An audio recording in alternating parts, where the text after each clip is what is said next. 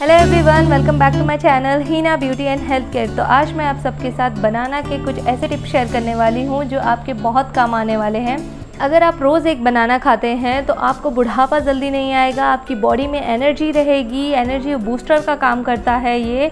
आपको कमज़ोरी बिल्कुल फील नहीं होगा और आपके चेहरे पर एक बहुत अच्छा सा ग्लो आएगा। बच्चों की अगर हाइट नहीं बढ़ रही है, उनकी ग्रोथ नहीं हो रही है तो आप रोज़ बच्चों को एक बनाना ज़रूर खिलाएँ। इसमें बहुत से विटामिन मौजूद होते हैं मैग्नीशियम प्रोटीन कार्बोहाइड्रेट जो हमारे हेल्थ के लिए काफ़ी ज़्यादा फ़ायदेमंद बच्चों की ग्रोथ में काफ़ी ज़्यादा मदद करता है। अगर आपके चेहरे में रूखापन है ड्राइनेस है तो आपको इसका एक फेस पैक बनाकर लगाना चाहिए। तो पहले आप छोटा सा पीस बनाना का लें, उसे अच्छे से मैश कर कर उसमें बेसन हाफ़ टी स्पून उसमें बेसन ऐड कर लें और अच्छे से अपने फेस पर मसाज करें। पाँच मिनट तक रहने दें और आप देखेंगे कि आपके चेहरे में इंस्टेंट सॉफ्टनेस आ जाएगी। बनाना के छिलकों को आप वेस्ट बिल्कुल मत समझिए। इसके छिलके भी आपके स्किन के लिए काफ़ी ज़्यादा फ़ायदेमंद होते हैं।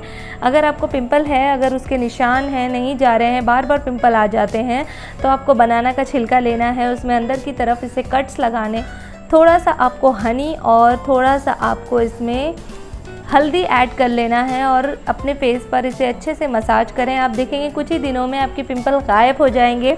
आँखों के नीचे डार्क सर्कल्स हैं तो आप इसके छिलकों को अपने आँखों के नीचे रख लें तो आपकी वो प्रॉब्लम भी दूर हो जाएगी। बनाना के छिलके के और भी बहुत फ़ायदे हैं। अगर आपकी एड़ियाँ फटी हुई हैं तो आप थोड़ा सा नमक लें और ये छिलके पे लगाकर अपनी एड़ियों पर इसे अच्छे से मसाज कर लें।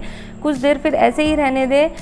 कंटिन्यू आप अगर ऐसा करेंगे तो आपकी फटी हुई एड़ियाँ एकदम ठीक हो जाएँगी। अगर आपको वीडियो अच्छी लगी तो लाइक करें शेयर करें कमेंट करके बताएँ कि आपको वीडियो कैसी लगी। और अगर आप चैनल पर नए हैं तो इसे सब्सक्राइब करना ना भूलें और बेल आइकन को भी ज़रूर प्रेस करें, ताकि मेरी वीडियोज़ की नोटिफिकेशन सबसे पहले आपको मिले।